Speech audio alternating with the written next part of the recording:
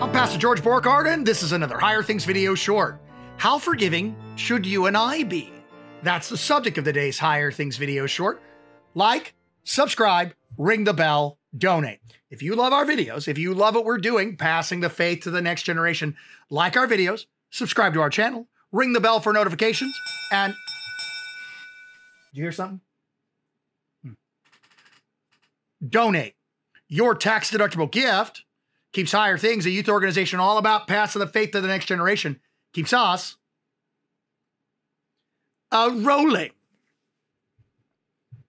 So we had a video last week, um, which had to be redone, and then this one had to be redone for the same problem. I did two videos without actually having sound. Um, last week's video is right there on how forgiving is Jesus. But this begs the question about also how forgiving should you and I be? Remember last week, Jesus says, every sin, everything you say about the Son of Man will be forgiven, every blasphemy and word spoken against him. So Jesus forgives every last sin spoken against him. And that's important because we need him to be such a savior as to forgive us of everything we say about him. So all your uh, OMGs and JCs will be forgiven in his suffering and death. It's as if Jesus doesn't want anyone to go to hell for something against him. Uh, the blasphemy of the Holy Spirit's in there too. If you're thinking, well, the blasphemy of the Holy Spirit's not forgiven, that video right there too. So what do, what do we take from this? What do we learn from this? Well, what we learn from this is Jesus is such a God who wants to save, he forgives everything said about him. And so we too, being in him, being forgiven by him, being loved by him, will gladly forgive those who sin against us. How could we not? He has forgiven us everything we said about him. How could we not forgive those around us who say things about us? Notice that's different from, oh, no, you didn't say that about me. Oh, no, you didn't. Do you know who I am? Jump in your bed. Jump in your bed. They need to see you. Get in your bed. In your bed. There's a good boy.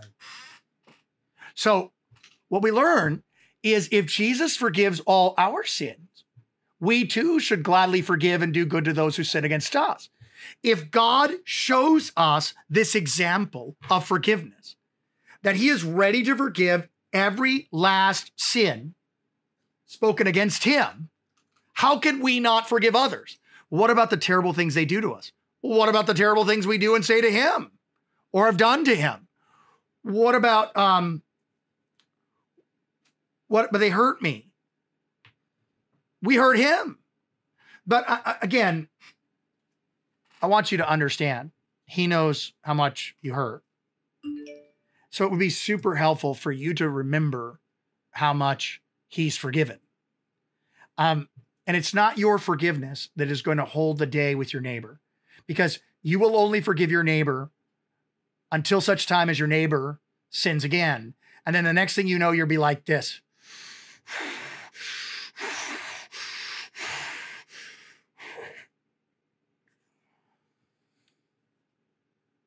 But if the forgiveness that you pass on is Jesus's forgiveness, well, then there's no end of the mercy, grace, forgiveness that you can pass on to others. My suggestion is if you have someone who's really, really hurt you, is to start praying for them. Pray for your enemies. If you're praying for them, it will keep you from hating them because you can't hate somebody you're praying for. And then pray for God to help you forgive them. Pray for God to help you mercy them. Pray for God to help you begin to forgive them and to love them and to care for them. Because um, they're not worth going to hell over. Whatever they did isn't worth going to hell over. And you can't get forgiveness if you don't forgive.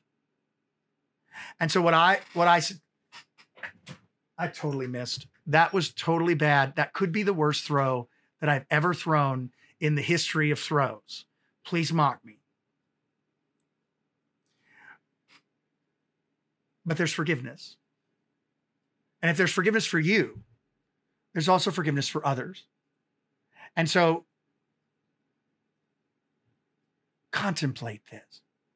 If Jesus is so forgiving as to forgive all our sins, we too should gladly do good and forgive those who've sinned against us. It starts with Jesus, though. We love because he first loved us. We forgive because he forgave us first. I'm Pastor George Borghardt, and this has been another Higher Things video short.